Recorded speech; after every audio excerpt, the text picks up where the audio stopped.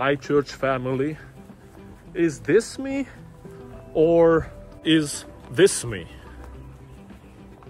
The title of my sermon for this Sabbath is Is That You?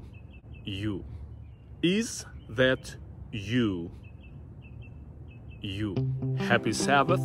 Shabbat Shalom. Love to you all.